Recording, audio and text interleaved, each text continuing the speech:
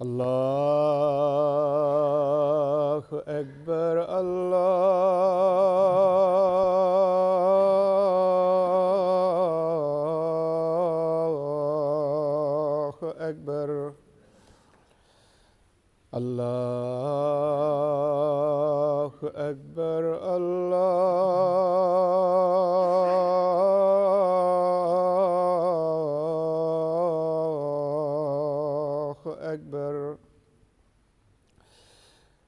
أشهد أن لا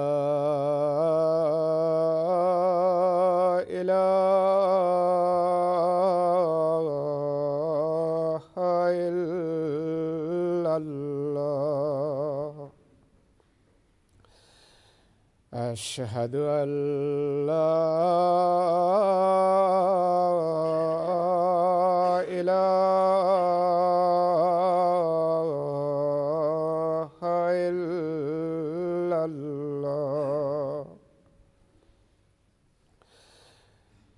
أشهد أن محمدا رسول الله.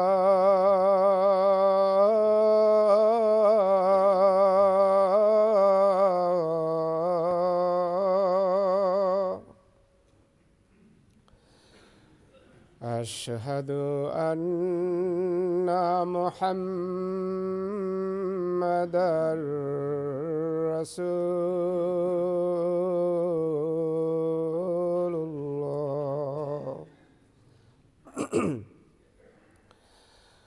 حي على السلام.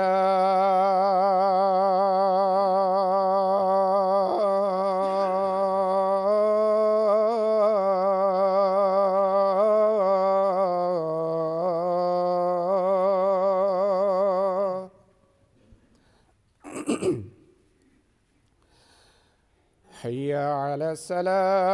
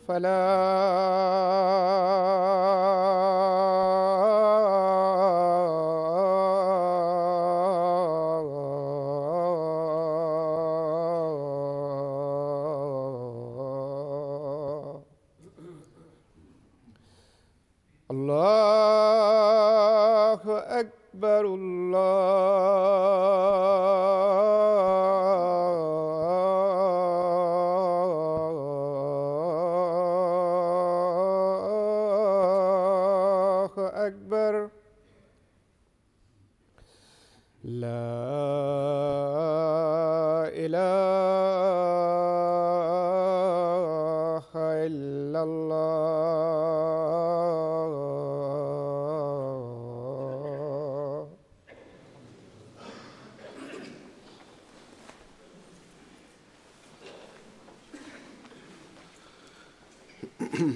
السلام علیکم ورحمۃ اللہ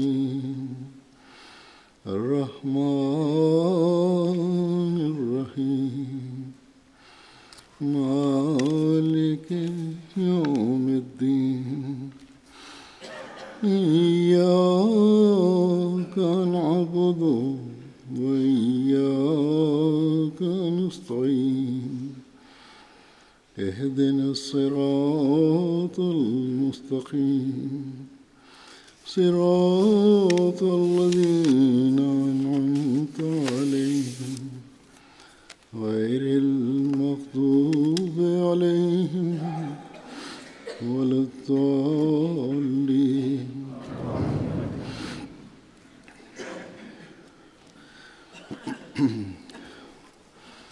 اللہ تعالیٰ مومنوں کو فرماتا ہے کہ تمہارا مطمئن نظر ہمیشہ فستبق الخیرات ہونا چاہیے۔ یعنی تم نیکیوں میں ہمیشہ ایک دوسرے سے آگے بڑھنے کی کوشش کرو۔ اور پھر نیکیاں بجا لانے والوں اور نیک اعمال کرنے والوں کو اللہ تعالیٰ نے بہترین مخلوق قرار دیا ہے۔ جیسا کہ فرماتا ہے کہ ان اللہ زینہ امن وامل الصالحات اولائے ہوں خیر البریہ۔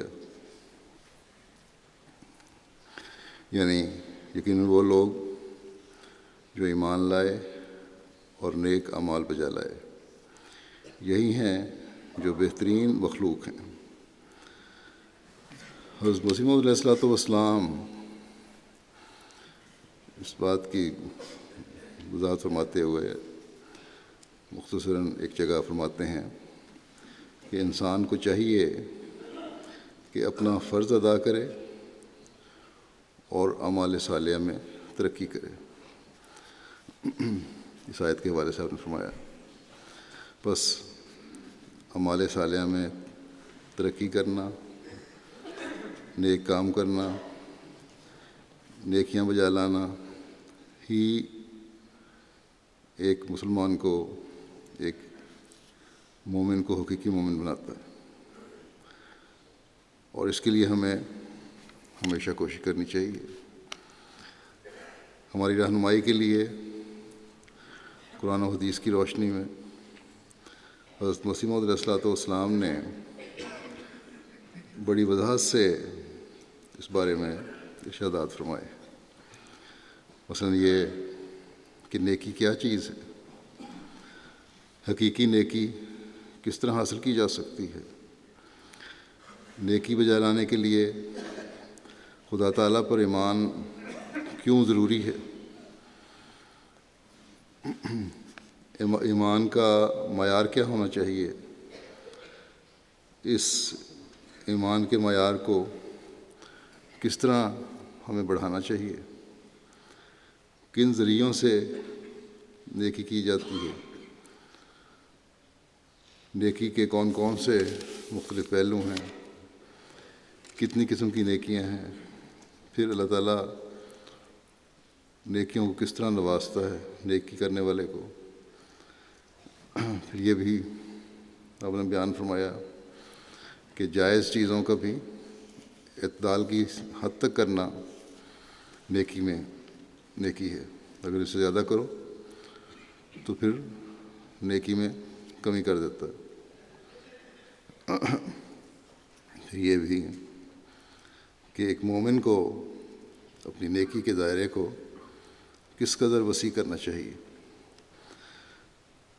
غرض کہ آپ نے نیکیوں کی حکمت، اس کی حقیقت اور اس کی روح کے مضمون کو مختلف موقعوں پر مختلف زاویوں سے کھول کر بیان فرمایا ہے۔ اس وقت میں اس بارے میں آپ کی چند اقتباسات پیش کروں گا۔ اس بات کی وضاحت فرماتے ہوئے کہ نیکی کیا چیز ہے؟ اور اور یہ بھی کہ بظاہر ایک چھوٹی سی نیکی اللہ تعالیٰ کی رضا کا مورد بنا دیتی ہے۔ آپ فرماتے ہیں، نیکی ایک زینہ ہے اسلام اور خدا کی طرف چڑھنے کا۔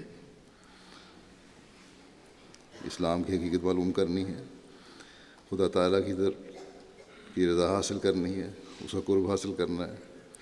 تو نیکیاں اس کے لیے ایک زینہ ہے۔ لیکن یاد رکھو کہ نیکی کیا چیز ہے۔ فرمایا کہ شیطان ہر ایک راہ میں لوگوں کی راہ زنی کرتا ہے اور ان کو راہ حق سے بہکاتا ہے۔ مثلا رات کو روٹی زیادہ پک گئی، امیر آدمی ہے یا کسی کے گھر میں رات کو کھانا زیادہ پک گیا، روٹی زیادہ پک گئی صبح کو باسی بچی رہی۔ کھائی نہیں گئی، رات کو بچ گئی۔ اور اگلے دن فرمایا کہ عین کھانے کے وقت کہ اس کے سامنے اچھے اچھے کھانے رکھے ہیں۔ ابھی ایک لقمہ نہیں لیا کہ دروازے پر آ کر فقیر نے صدا کی اور روٹی مانگی۔ تو اس کھانے والے نے کہا کہ باسی روٹی ساحل کو دے دو۔ کل کی جو بچی روٹی تھی، وہ دے دو، حالانکہ اپنے سامنے تازہ کھانا پکا ہوا ہے۔ فرمایا کہ کیا یہ نیکی ہوگی؟ باسی روٹی تو پڑی رہنی تھی۔ تنام پسند اسے کیوں کھانے لگے؟ آپ فرماتے ہیں کہ اللہ تعالیٰ فرماتا ہے کہ ویوت امون و تعامہ اللہ حب ہی مسکینم و یتیم و اسیرہ فرمایا کہ یہ بھی معلوم رہے کہ تعام کہتے ہی پسندیدہ تعام کو ہیں یعنی اچھا تعام اس کو کہا جاتا ہے جو پسندیدہ کھانا ہو۔ سڑا ہوا باسی تعام نہیں ہوتا۔ ایک دن کا پرانا کھانا ہے، جس کو خود پسند نہیں کرتے، وہ کھانا تعام نہیں کہلاتا عربی میں۔ فرمایا کہ الغرض اس رکابی میں سے جس میں ابھی تازہ کھانا اور لذیذ اور پسندیدہ رکھا ہوا ہے۔ پلیٹ میں کھا رہے ہو، رکھا ہوا ہے، سامنے تمہارے پڑا ہے۔ کھانا شروع نہیں کیا۔ فقیر کی صدا پر نکال دے تو یہ نیکی ہے۔ ابھی کھانا سامنے پڑا ہے تازہ اور اگر کوئی مانگنے والا آتا ہے، غریب آدمی آتا ہے، اس کو دے دیتے ہو تو یہ نیکی ہے۔ نہ یہ نیکی کہ اچھا میں تو تازہ کھانا کھاتا ہوں۔ تم جو پرانا گھر والوں کہہ دیا کہ کل کا بچا ہوا جو کھانا تھا، وہ اس کو دے دو۔ تو اس حد تک گہرائی میں انسان جائے تو تبھی وہ حقیقی نیکی کو پا سکتا ہے۔ بس حقیقی نیکی کرنے کی کوشش ہونی چاہیے۔ اور یہ نیکی کس طرح پیدا ہوتی ہے؟ یہ نیکی خدا تعالیٰ پر کامل ایمان کے بغیر پیدا نہیں ہو سکتی۔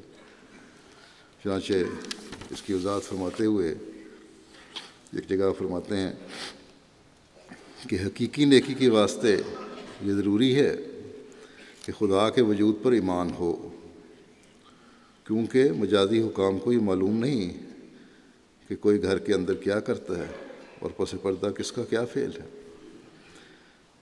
اللہ تعالیٰ کے وجود پر ایمان ہو اور ایمان یہ ہو کہ اللہ تعالیٰ کی ہر چیز پر نظر ہے۔ بظاہر جو حکام ہیں، بظاہر جو حکومت ہے، ادارے ہیں، ان کو تو انسان کے اندر کا نہیں پتہ کیا چیز ہے۔ لیکن اللہ تعالیٰ کو پتہ ہے اور یہ ایمان ہونا چاہیے کہ اللہ تعالیٰ کو ہر چیز کا پتہ ہے، ہر چیز کا علم ہے، غیب کا علم رکھتا ہے وہ۔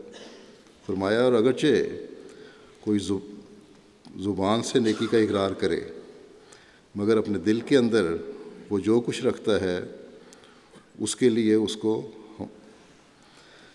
ہمارے مواخذہ کا خوف نہیں۔ اور دنیا کی حکومتوں میں سے کوئی ایسی نہیں جس کا خوف انسان کو رات میں اور دن میں، اندھیرے میں اور اجالے میں، خلوت میں اور جلوت میں، ویرانے میں اور آبادی میں، گھر میں اور بازار میں، ہر حالت میں یکساں بعض دفعہ انسان چھپ کے کام کر رہا ہوتا ہے۔ مختلف جگہوں میں بیٹھا ہوا ہے، مختلف حالتوں میں۔ اور اس کو پتہ ہے کہ بظاہر کوئی اس کو دیکھ نہیں رہا، اس لیے خوف بھی نہیں ہے۔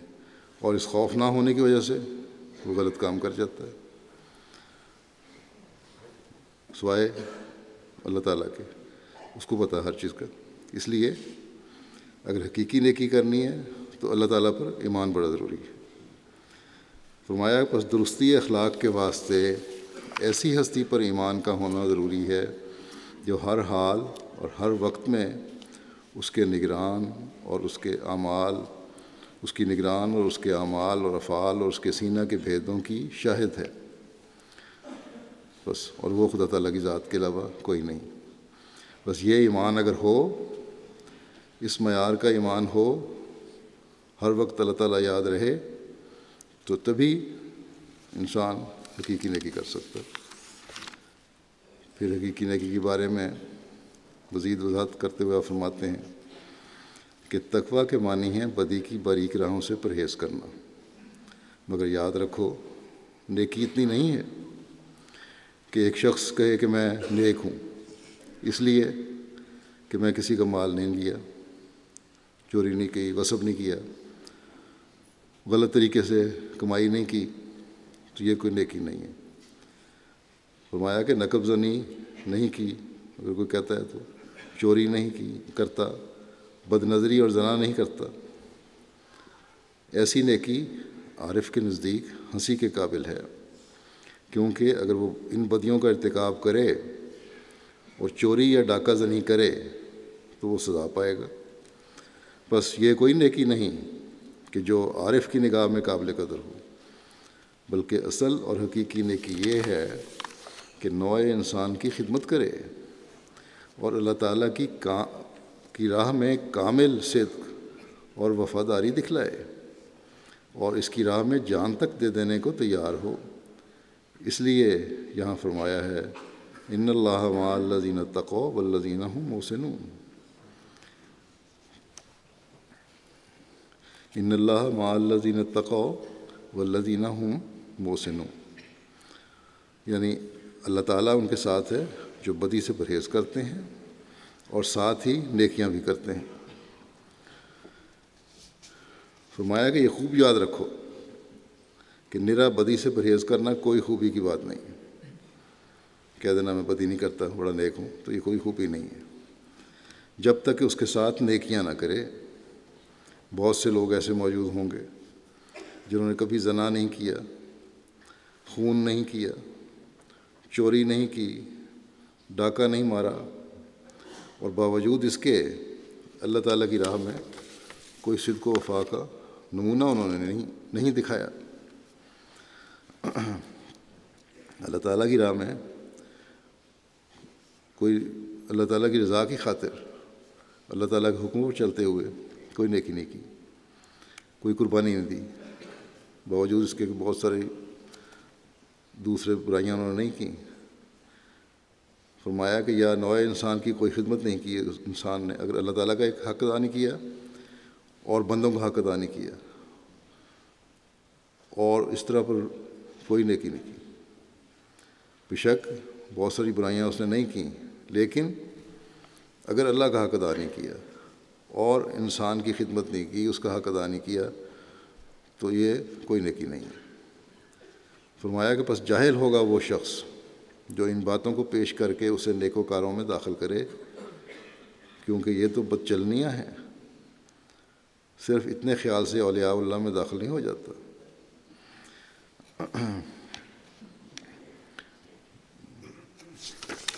پھر اس بارے میں وزیدہ فرماتے ہیں کہ یہ فخر کی بات نہیں کہ انسان اتنی ہی بات پر خوش ہو جاوے کہ وہ زنا نہیں کرتا۔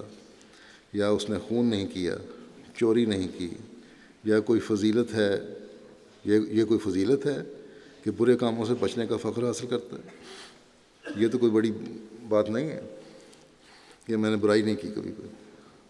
فرمایا کہ دراصل وہ جانتا ہے کہ چوری کرے گا تو ہاتھ کاٹا جائے گا، یا موجودہ، فرمایا کہ موجودہ قانون کی روح سے زندہ میں جائے گا۔ چوری کرے گا، پکڑا جائے گا تو جیل ہوگی، سزا ملے گی۔ تو یہ کوئی کمال تو نہیں ہے، یہ تو سزا کا خوف ہے۔ پھر فرمایا کہ اللہ تعالیٰ کے نزدیک اسلام ایسی چیز کا نام نہیں ہے کہ برے کام سے ہی پرہیز کرے، بلکہ جب تک بدیوں کو چھوڑ کر نیکیاں اختیار نہ کرے، وہ اس روحانی زندگی میں زندہ نہیں رہ سکتا۔ اسلام کی تعلیم کی حقیقی، حقیقت یہ ہے، اپنی روحانیت میں اضافہ کرو۔ اپنی روحانی زندگی کو بہتر بناؤ۔ اگر صرف بدیاں چھوڑ دیں تو روحانی زندگی بہتر نہیں ہو سکتی۔ بدیاں چھوڑ کر نیکیاں اختیار کرنی ضروری ہے روحانی زندگی کو اختیار کرنے کے لیے۔ ورنہ روحانی، فرمایا کہ روحانی زندگی میں زندہ نہیں رہ سکتا۔ پھر وہ مردہ ہو جائے گا۔ فرمایا کہ نیکیاں بطور غذا کے ہیں، جیسے کوئی شخص بغیر غذا کے زندہ نہیں رہ سکتا۔ اسی طرح جب تک نیکی اختیار نہ کرے تو کچھ نہیں۔ اور یہ حالت ایمان میں پڑھنے سے حاصل ہوتی ہے۔ خدا تعالیٰ پر ایمان کا معیار کیسا ہونا چاہیے؟ یہ معیار تبھی حاصل ہوگا جب انسان کا ظاہر و باطن بھی ایک ہو۔ صرف ظاہری ایمان نہ ہو، بلکہ جس طرح یہ یقین ہے کہ ایک زہر نقصان کرتا ہے۔ انسان اس سے مر سکتا ہے، وہ کھا لے۔ جس طرح یہ یقین ہے کہ ایک سانپ کی سوراخ میں اگر انسان ہاتھ ڈالے تو اگر سانپ اندر ہے تو ڈس سکتا ہے۔ اسی طرح یہ یقین ہونا چاہیے اللہ تعالیٰ کی ذات پر کہ اگر میں برائیاں کروں گا تو اللہ تعالیٰ مجھے ہر وقت دیکھ رہا ہے، مجھے سزا ملے گی۔ اور نیکیاں تو اللہ تعالیٰ فرماتا ہے، اس کو اجر دیتا ہی ہے۔ انسان کا ہر عمل اللہ تعالیٰ کے ہر عمل سے اللہ تعالیٰ کے وجود کا اظہار ہو رہا ہو۔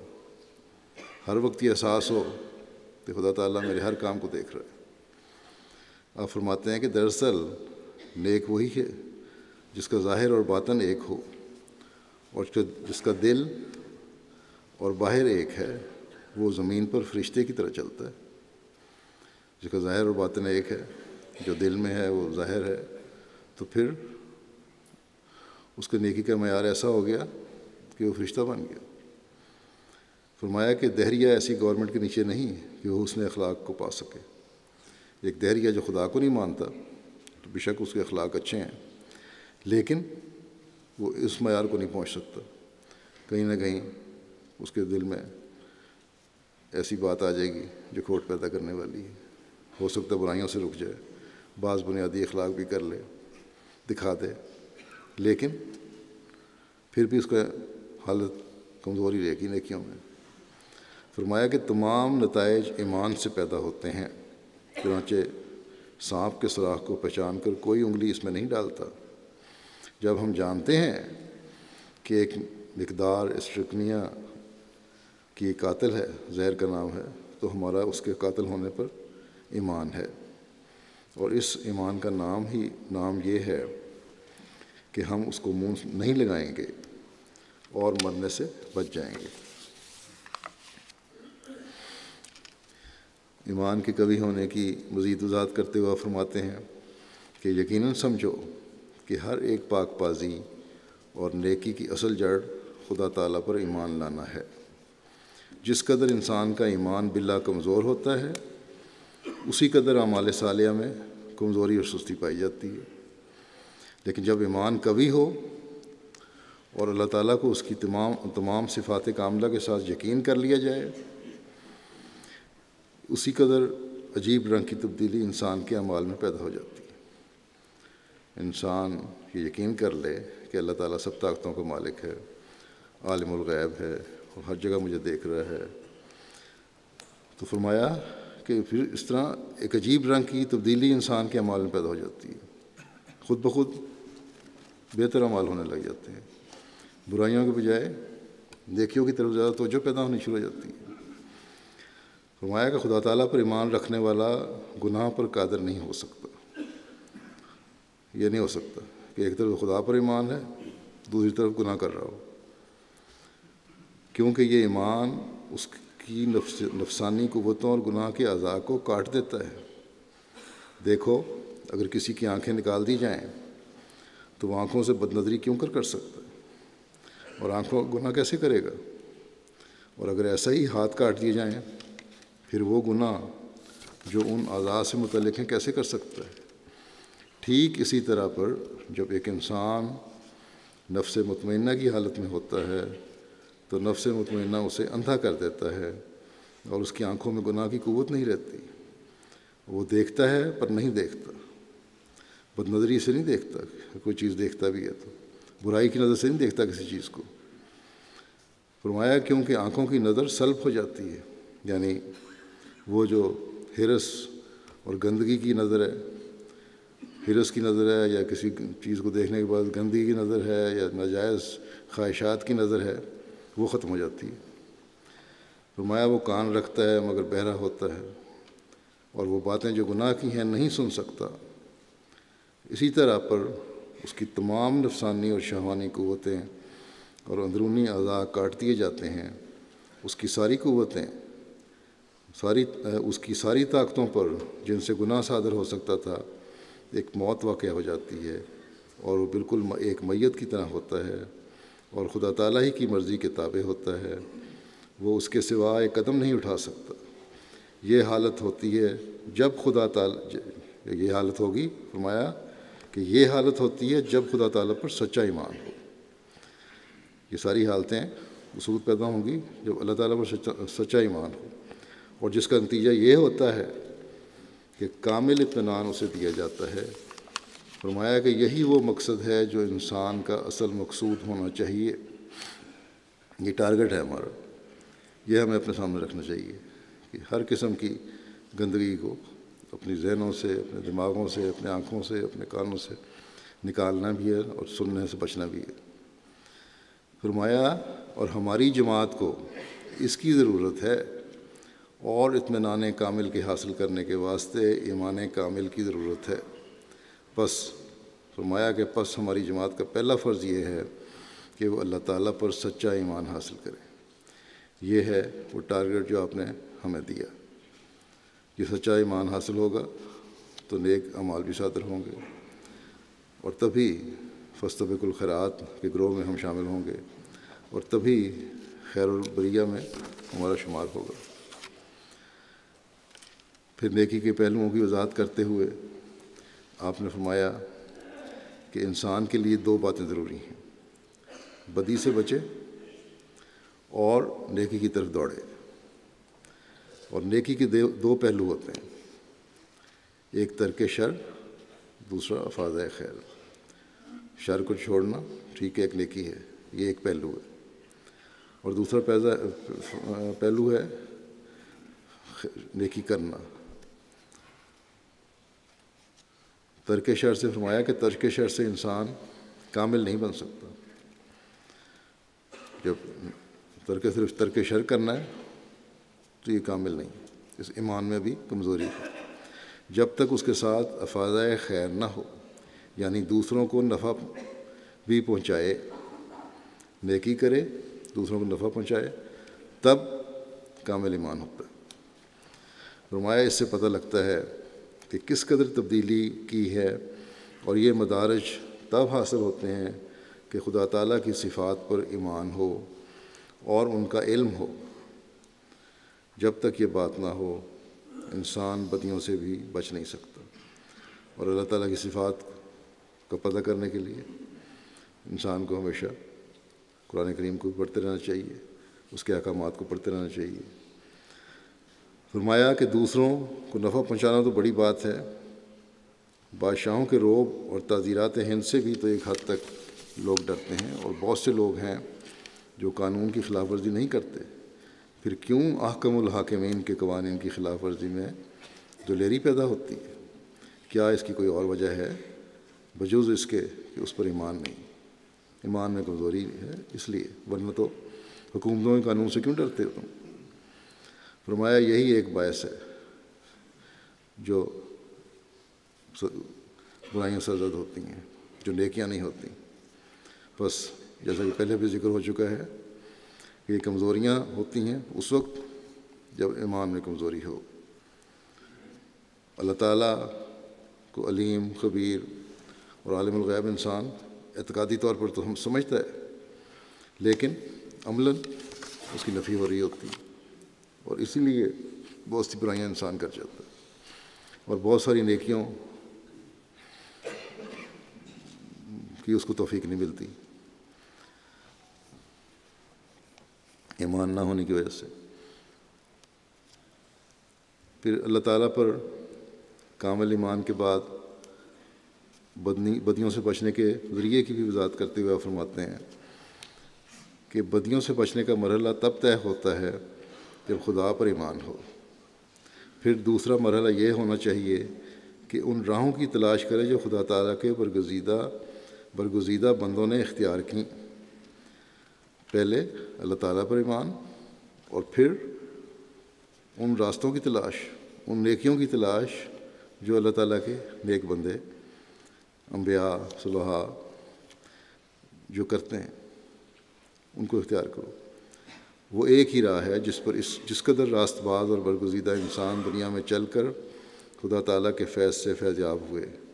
اس راہ کا پتہ یوں لگتا ہے کہ انسان معلوم کرے کہ خدا تعالیٰ نے ان کے ساتھ کیا معاملہ کیا۔ پہلا پہلا مرحلہ، فرمایا کہ پہلا مرحلہ بدیوں سے بچنے کا تو خدا تعالیٰ کی جلالی صفات کی تجلی سے حاصل ہوتا ہے کہ وہ بدکاروں کا دشمن ہے اپنے قریبیوں کے دشمنوں کو ختم کرتا ہے۔ اور فرمایا کہ اور دوسرا مرتبہ خدا تعالیٰ کی جمالی تجلی سے ملتا ہے۔ اور آخر یہی ہے کہ جب تک اللہ تعالیٰ کی طرف سے قوت اور طاقت نہ ملے، جس کو اسلامی اصطلاح کے موافق روح القدس کہتے ہیں، کچھ بھی نہیں ہوتا۔ یہ قوت ہوتی ہے جو خدا تعالیٰ کی طرف سے ملتی ہے۔ اس کے نزول کے ساتھ ہی دل میں ایک سکینت آتی ہے اور طبیعت میں نیکی کے ساتھ ایک محبت اور پیار پیدا ہو جاتا ہے۔ اللہ تعالیٰ کی جو مالی تجلی ہوتی ہے، تو ہر نیکی، ایک تو نیکی کی طرف توجہ پیدا ہوتی ہے، بدی کی طرف توجہ ہی نہیں ہوتی، اور پھر ایک سکینت دل میں پیدا ہوتی ہے۔ یہ ہے نیک لوگوں کا عمل جو ہمارے سامنے نمونہ ہے، جس کو آپ نے کہا ہے، اس کو دیکھو۔ انبیاء کے نمونے کو دیکھو۔ فرمایا کہ جس نیکی کو دوسرے لوگ بڑی مشقت اور بوجھ سمجھ کر کرتے ہیں، یہ ایک لذت اور سرور کے ساتھ سو کرنے کی طرف دوڑتا ہے۔ یعنی جو اللہ تعالیٰ کا پیارا ہے۔ جیسے لذیذ چیز بچے، بچہ بھی شوق سے کھا لیتا ہے۔ اسی طرح جب خدا تعالیٰ سے تعلق ہو جاتا ہے اور اس کی پاک روح اس پر اترتی ہے، پھر نیکیاں ایک لذیذ اور خوشبودار شربت کی طرح ہوتی ہیں۔ وہ خوبصورتی جو نیکیوں کے اندر موجود ہے، اس کو نظر آنے لگتی ہے اور بے اختیار ہو ہو کر اس ان کی طرف دوڑتا ہے۔ بدی کے تصور سے بھی اس کی روح کانپ جاتی ہے۔ فرمایا کہ یہ امور اس قسم کے ہیں کہ ہم ان کو الفاظ کے پیرائے میں پوری طور سے ادا نہیں کر سکتے۔ ایک عجیب دل کی کیفیت ہوتی ہے، دل کا سرور ہوتا ہے۔ جن کو الفاظ کا جامع پہنانا بہت مشکل ہے۔ فرمایا کہ یہ قلب کی حالتیں ہوتی ہیں۔ یہ دل ہی محسوس کر سکتا ہے۔ محسوس کرنے سے ہی اس کا ٹھیک پتہ لگتا ہے۔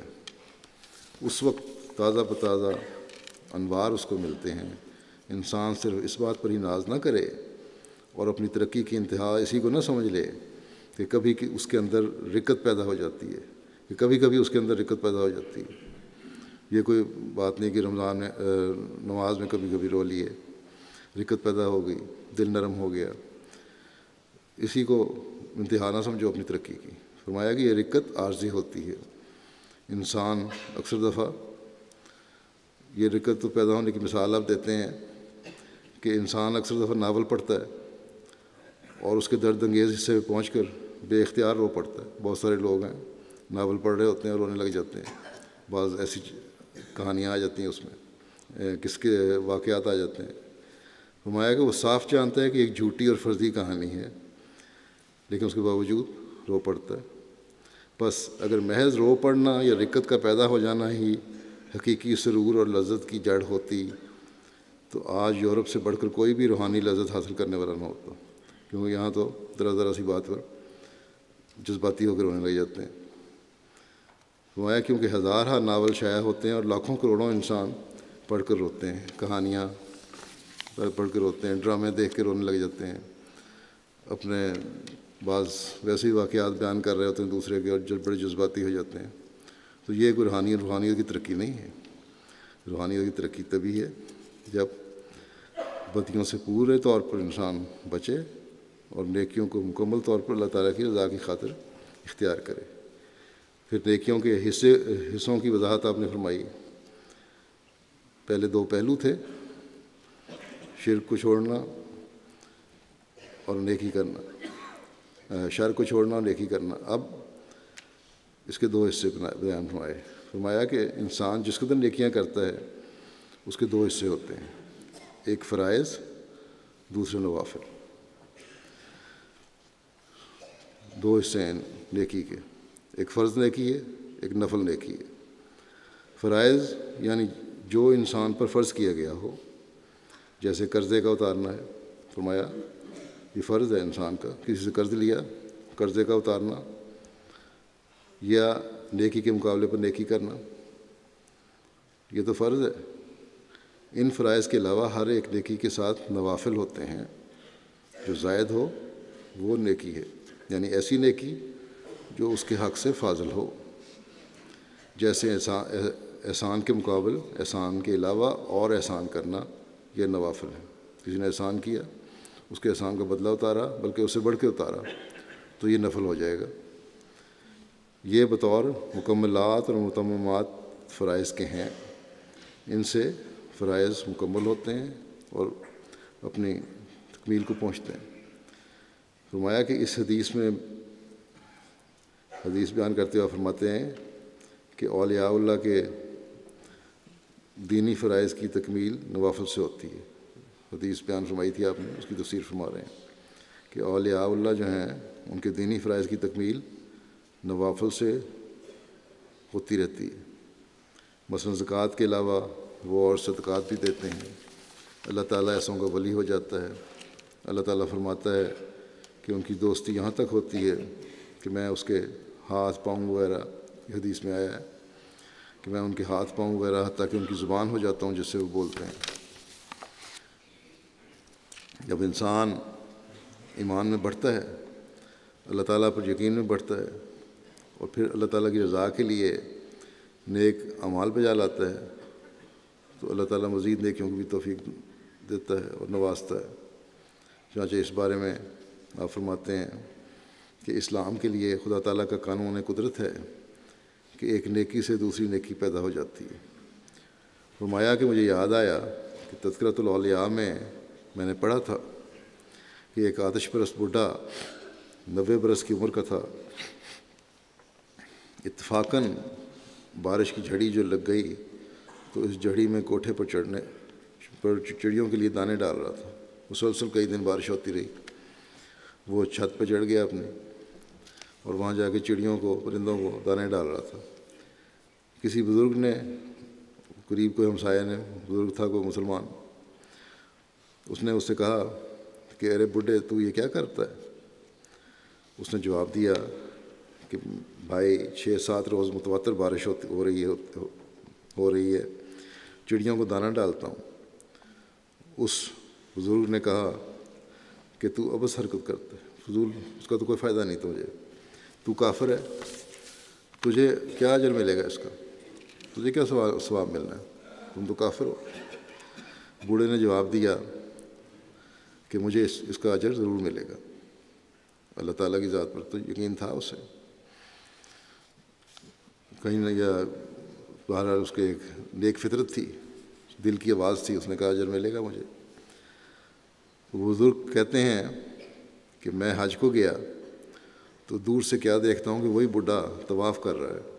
وہی جو آتش پرست تھا، چڑیوں کو دانہ ڈالنے والا، وہ خانہ کعبہ کا طواف کر رہا ہے حج پہ۔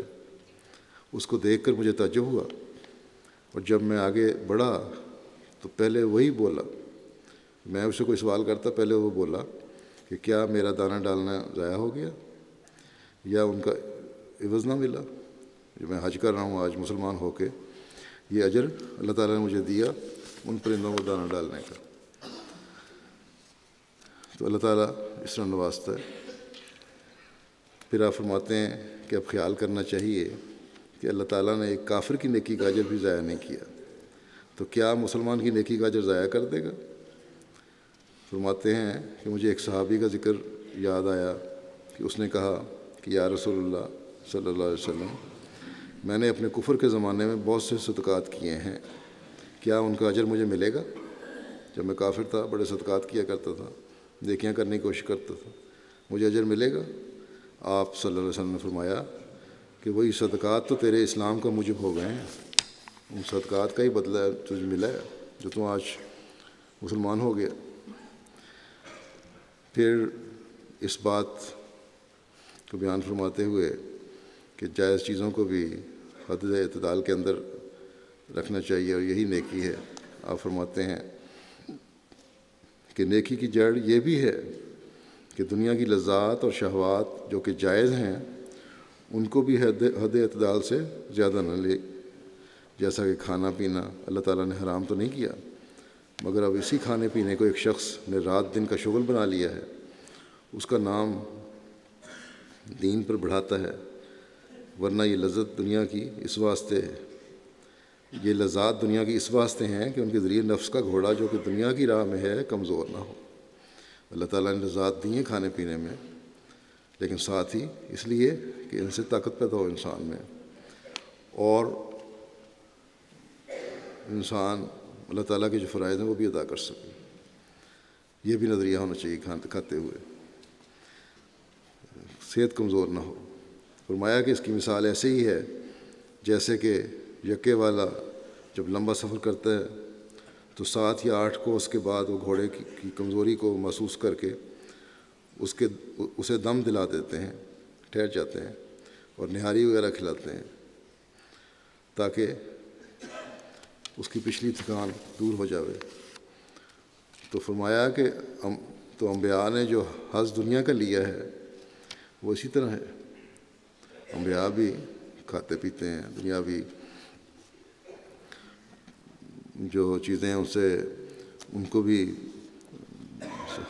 ملتا ہے، سکون ملتا ہے، شادی بیاہ ہے، اولاد ہے، کھانا پینا ہے، دنیاوی چیزیں ہیں، سب چیزیں انبیاء بھی ان کا استعمال کرتے ہیں۔ فرمایا کہ انہوں نے جو دنیا کے لیے وہ اسی طرح کا ہے، کیونکہ ایک بڑا کام دنیا کی اصلاح کا ان کے سپرد تھا۔ اگر خدا کا فضل ان کی دستگیری نہ کرتا تو ہلاک ہو جاتے۔ تو جس طرح ایک گھوڑے والا، ٹانگے والا اپنے گھوڑے کو تازہ دم رکھنے کے لیے کھلاتا پلاتا ہے اسی طرح جو انبیاء ہیں، وہ اگر کھاتے پیتے ہیں یا اچھی چیزیں استعمال کرتے ہیں، تو صرف اس لیے کہ دنیا کی، اصلاح کی طرف توجہ ہو۔ ایک دفعہ حضرت مسیم علیہ السلاۃ والسلام پہ اعتراض کیا خلیفہ ابل سے کسی نے کہا کہ اعتراض یہ تھا کہ حضرت مسیم علیہ السلام پلاؤ بھی کھا لیتے ہیں۔ اعتراض کرنے والے نے کہا سنا مرزا صاحب، پلاؤ کھاتے ہیں۔ اس خلیفہ نے کہا کہ میں نے تو کہیں نہیں پڑھا، نہ قرآن میں، نہ حدیث میں کہ اچھا کھانا کھانا نبیوں پہ جائز نہیں۔ کھاتے ہیں تو کیا ہو گیا؟ تو اس قسم کے بھی لوگوں کو اعتراض ہوتے رہتے ہیں۔ لوگ سمجھتے ہیں کہ صرف کڑوے کھانا کھانا ہی بڑی بزرگی ہے، حالانکہ یہ غلط ہے۔ اسی سنت پہ ہمیں چلنا چاہیے جو آ حضرت صلی اللہ علیہ وسلم نے ہمارے سامنے پیش فرمائی۔ آپ نے ایک صاحب بھی فرمایا تھا، میں اچھا کھانا بھی کھاتا ہوں، میں اچھے کپڑے بھی پہنتا ہوں میں نے شادیاں بھی کی ہیں، میری اولاد بھی ہے، میں سوتا بھی ہوں، میں عبادت بھی کرتا ہوں۔ بس میری سنت ہے جو تمہیں چلنا چاہیے۔ بہرحال آگے حضرت مسیم علیہ السلام فرماتے ہیں، انبیاء کا یہ دستور نہ تھا کہ اسی میں منہمک ہو جاتا ہے یعنی دنیاوی چیزوں میں منہمک نہیں ہوتے۔ انہماک بے شک ایک زہر ہے، ایک بدکماش آدمی جو کچھ چاہتا ہے، کرتا ہے اور جو چاہتا ہے، کھاتا ہے۔ اسی طرح اگر ایک سالے بھی کرے تو خدا کی راہیں اس پر نہیں کھلتی۔ ایک بدکماش آدمی تو دنیاوی نظر سے کھاتا پیتا اور سب کام کر رہا ہوتا ہے دنیا داری کے۔ لیکن ایک سالے آدمی نہیں۔ اگر وہ اس طرح کرے گا تو پھر خدا کی راہیں اس پہ نہیں کھلیں گی۔ فرمایا کہ جو خدا کے لیے قدم اٹھاتا ہے، خدا کو ضرور اس کا پاس ہوتا ہے۔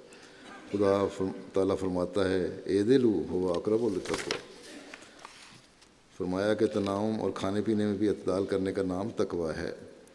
صرف یہی گناہ نہیں ہے کہ انسان زنا نہ کرے، چوری نہ کرے، بلکہ جائز امور میں حد اعتدال سے نہ بڑھے۔ جو جائز چیزیں ہیں، ان میں اعتدال رکھنا یہ بھی تقوی ہے اور یہ بھی نیکی ہے۔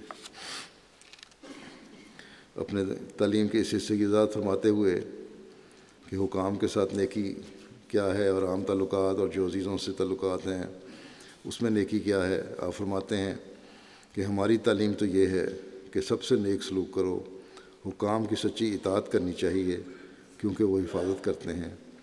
حکومت اور گورنمنٹ کی بھی اطاعت کرنی چاہیے، کیونکہ وہ اپنے شہریوں کے اگر فرائض ادا کر رہے ہیں، صحیح طرح۔ فرمایا کہ جان اور مال ان کے ذریعے امن میں ہیں اور برادری کے ساتھ نیک سلوک اور برتاؤ کرنا چاہیے، کیونکہ برادری کے بھی حقوق ہیں۔ فرمایا، البتہ جو متقی نہیں ہے اور بدعات و شرک میں گرفتار گرفتار ہیں اور ہمارے مخالف ہیں، ان کے پیچھے نماز نہیں پڑھنی چاہیے۔ نیک برتاؤ کرنا کرو، لیکن نیکی کا یہ مطلب نہیں کہ جو ہمارے مخالف ہیں اور ہمارے پہ لگانے والے ہیں، بدعات میں گرفتار ہیں، ان کے پیچھے نمازیں پڑھنے لگ جاؤ، وہ نہیں پڑھنی۔ فرمایا کہ تاہم ان سے نیک سلوک ضرور کرنا چاہیے، لیکن نیک سلوک ان سے بہرحال کرنا، جتنے مرضی مخالف ہوں ہمارے۔ ہمارا اصول تو یہ ہے، فرمایا کہ ہمارا اصول تو یہ ہے کہ ہر ایک سے نیکی کرو۔ جو دنیا میں کسی سے نیکی نہیں کر سکتا، وہ آخرت میں کیا اجر لے گا؟ اس لیے سب کے لیے نیک اندیش ہونا چاہیے۔ ہاں مذہبی امور میں اپنے آپ کو بچانا چاہیے۔ جس طرح پر طبیب ہر مریض کی خواہ ہندو ہو یا عیسائی یا کوئی اور، سب کی تشخیص اور علاج کرتا ہے۔ اسی طرح پر نیکی کرنے میں عام اصولوں کو مد نظر رکھنا چاہیے۔ فرمایا، اگر کوئی یہ کہے کہ پیغمبر خدا صلی اللہ علیہ وسلم کے وقت میں کفار کو قتل کیا گیا، تو اس کا جواب یہ ہے کہ وہ لوگ اپنی شرارتوں اور اظہار آسانیوں سے بسبب بلا وجہ قتل کرنے مسلمانوں کے مجرم ہو چکے تھے۔ مسلمانوں کو قتل کرتے تھے، ان پہ ظلم کرتے تھے۔ ان کی سزا کے طور پر ان کو سزا دی گئی۔ ان کو جو سزا ملی مجرم ہونے کی حیثیت سے تھی۔ محض اس لیے نہیں تھی، ان کے انہوں نے انکار کیا۔ محض انکار اگر سادگی سے ہو اور اس کے ساتھ شرارت اور اظہار ثانی نہ ہو، تو وہ اس دنیا میں عذاب پر مجرم نہیں ہوتا۔ دیکھی کے دائرے کو کس قدر وسیع کرنا چاہیے، اس بارے میں آپ فرماتے ہیں کہ یاد رکھو، ہمدردی کا دائرہ میرے نزدیک بہت وسیع ہے۔ کسی قوم اور فرد کو الگ نہ کرے۔ میں آج کل کے جاہلوں کی طرح یہ نہیں کہنا چاہتا کہ تم ہمدردی کو صرف مسلمانوں سے ہی مخصوص کرو۔ نہیں۔ میں کہتا ہوں کہ تم خدا تعالیٰ کی ساری مخلوق سے ہمدردی کرو۔ خواہ وہ کوئی ہو، ہندو ہو یا مسلمان یا کوئی اور۔ میں کبھی ایسے لوگوں کی باتیں پسند نہیں کرتا جو ہمدردی کو صرف اپنی ہی قوم سے مخصوص کرنا چاہتے ہیں۔ ان میں بعض اس قسم کے خیالات بھی رکھتے ہیں کہ اگر ایک شیرے کے مٹکے میں ہاتھ ڈالا جائے اور پھر اس کو تلوں میں ڈال کر تل لگائے جائیں تو جس قدر تل اس کو لگ جائیں اس قدر دھوکہ اور فریب دوسرے لوگوں سے دے سکتے ہیں۔ یہ بعض غیر احمدیوں کے نظریے ہیں کہ شیرہ یا شہد کی میٹھی چیز میں ہاتھ ڈالو اور باہر نکالو، باہر نکال کے تلوں کے ڈھیر میں ہاتھ ڈالو اور جتنے چیز تل ساتھ لگ جائیں ہاتھ کے، اتنا تم دھوکہ دے سکتے ہو جتنا دھوکہ دینا جائز ہے، اتنے لوگوں کے حقوق وصف کرنا جائز ہے۔ فرمایا کہ سب چیزیں انتہائی گناہ ہیں، بالکل جائز نہیں۔ فرمایا کہ ان کی ایسی بیہودہ اور خیالی باتوں نے بہت بڑا نقصان پہنچایا ہے۔ اور ان کو قریباً وحشی اور درندہ بنا دیا ہے۔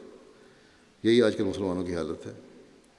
مگر میں تمہیں بار بار یہ نصیحت کرتا ہوں کہ تم ہرگز ہرگز اپنی ہمدردی کے دائرے کو محدود نہ کرو۔ اور ہمدردی کے لیے اس تعلیم کی پیروی کرو جو اللہ تعالیٰ نے دی ہے۔ یعنی ان اللہ یامر و بلطل والاحسان ہے و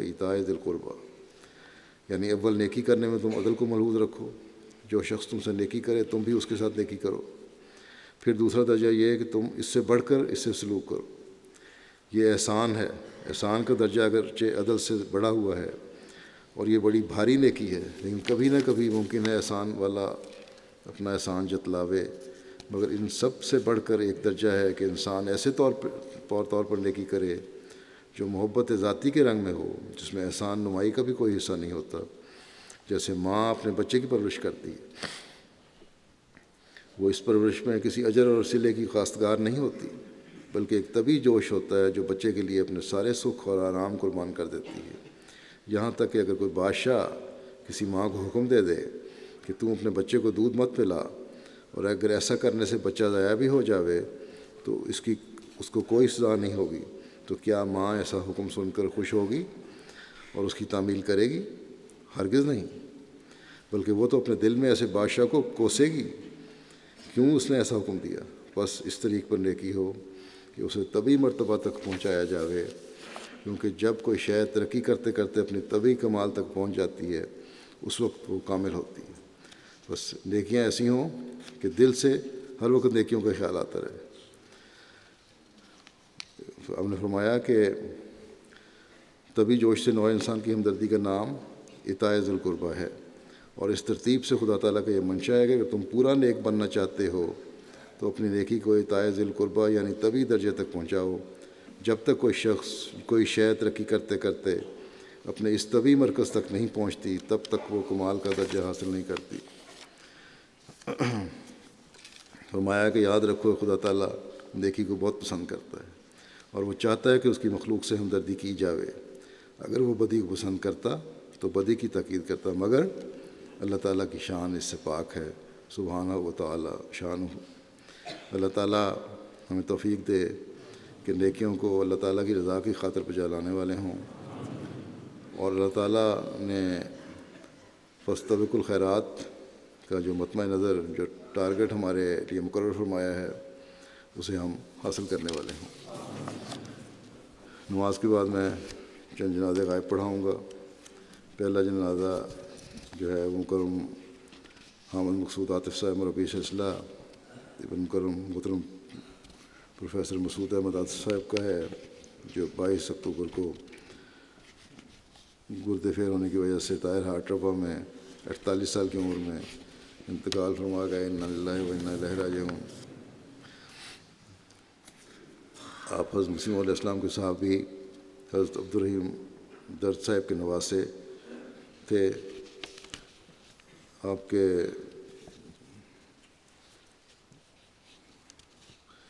والد پروفیسر محمود احمد عاطف تھے، مسعود احمد عاطف،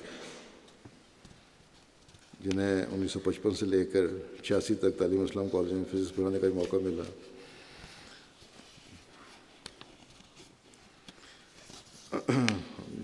یہ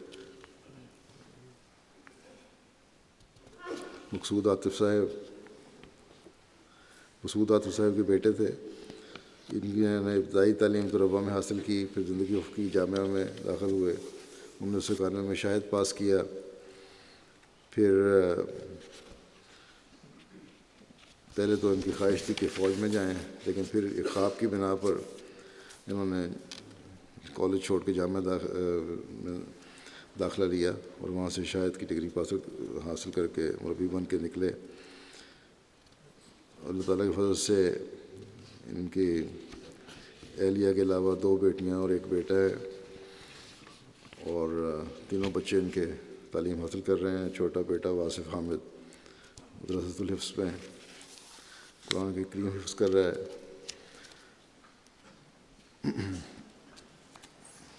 مقصود عاطف صاحب انیس سو اکانوے میں جامعہ سے فارغ ہوئے، پھر پاکستان میں مختلف شہروں میں ان کی تقرری ہوئی۔ اس کے بعد فرینچ زبان سیکھنے کے لیے انہوں نے اسلام آباد یونیورسٹی میں، نمل یونیورسٹی میں داخلہ لیا۔ اور مئی انیس سو ستانوے میں آئیوری کوسٹ میں پھر یہ بطور مبلغ ان کو بھجوایا گیا۔ دو ہزار دو تک آئیوری کوسٹ میں خدمت توفیق پائی۔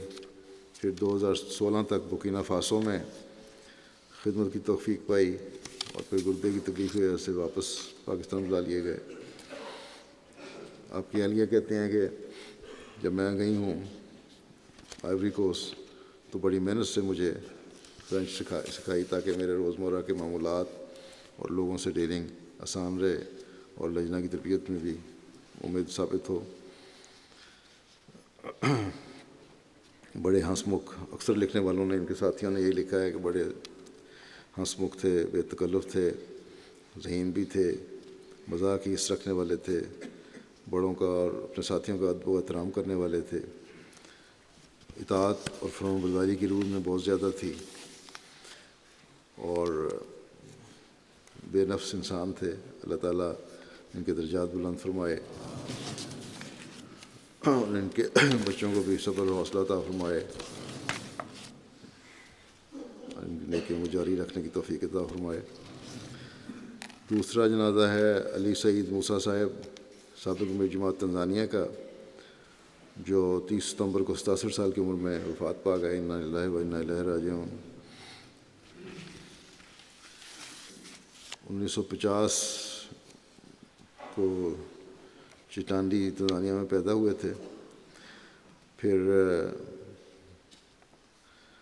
انہوں نے انیس سو اسی میں دارالاسلام یونیورسٹی میں داخلہ لیا۔ اکنامکس میں بی اے کی ڈگری حاصل کی۔ پھر انیس سو اسی ایگریکلچر اکنامکس کی ڈگری حاصل کی۔ مختلف حکومتی عہدوں پر فائد رہے۔ مسلم مسیح رابع نے ان کو قرآن کریم کا یا زبان میں ترجمہ کرنے کا ارشاد فرمایا تھا۔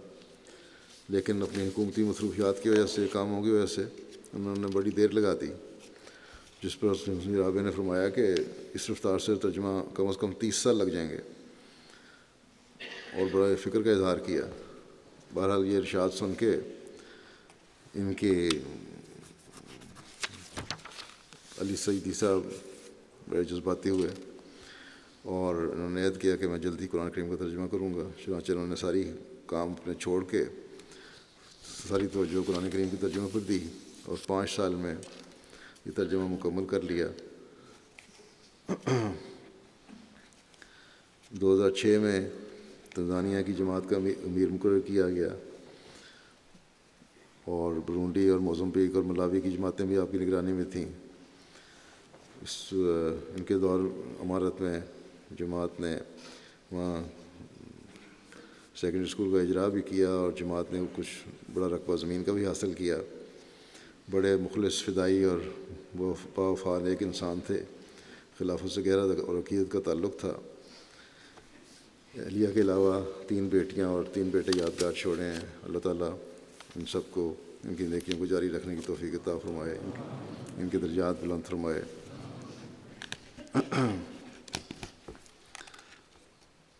اور تیسرا جنازہ ہے مکرمہ نصرت بیگم صادقہ صاحبہ۔ گرمولہ ورکا حال ربا کا، جو سولہ اور سترہ اکتوبر کی درمیانی شب طاہر ہارٹ انسٹیٹیوٹ میں وفات پا گئی تھیں۔ اللہ و اللہ راجعون۔ آپ محمد طاہر صاحب جو ہمارے آر پی ڈیسک کے انچارج ہیں، ان کی والدہ تھیں۔ ان کا سب سے نمایاں وصف توحید سے بے پناہ، محبت اور شرک و بدت سے شدید نفرت تھی۔ تو عقل اور غربا پر ہوئی نیکنی تھی اپنی نیکی کو چھپانا، بڑی آج دین کی ساری تھی۔ ان کے دادا حضمی عطا اللہ صاحب صحابی تھے۔ اور مولانا برحان الدین صاحب کے ذریعے سے انہوں نے بیعت کی تھی۔ قادیان آ کر پھر ان کے کہنے پر۔ قرآن کریم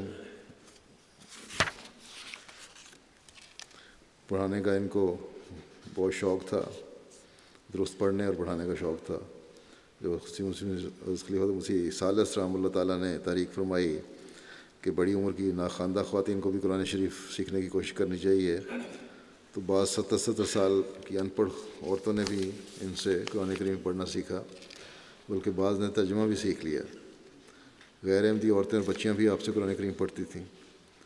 بہت سی بچیوں نے لجنا کے نصاب کی کتابیں پڑھ کر آپ سے لکھنا، پڑھنا بھی سیکھا۔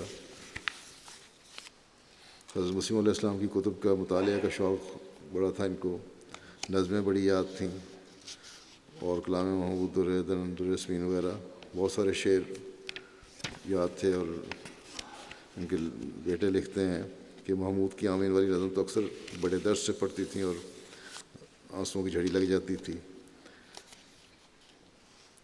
اسی طرح بدعات کے خلاف انہوں نے اپنے گاؤں میں بڑا کام کیا۔ کمزور ایمان عورتیں جو ٹونے ٹوٹکوں کی بعض دفعہ عادت تھی جن کو یا کرواتی تھیں، انہوں بڑا لمبا جہاد کر کے ان سے یہ عادت ہٹوائی اور ان کو صحیح ممنع بنانے کی طرف توجہ دلائی بننے کی طرف۔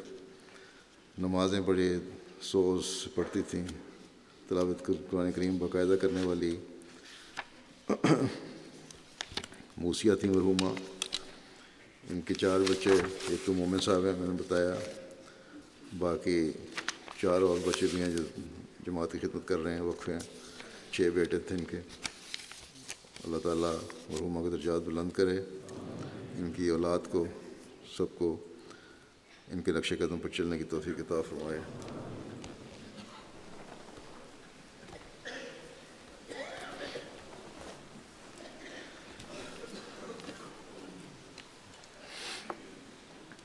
الحمد لله الحمد لله نحمده الحمد لله نحمده ونستعينه ونستغفره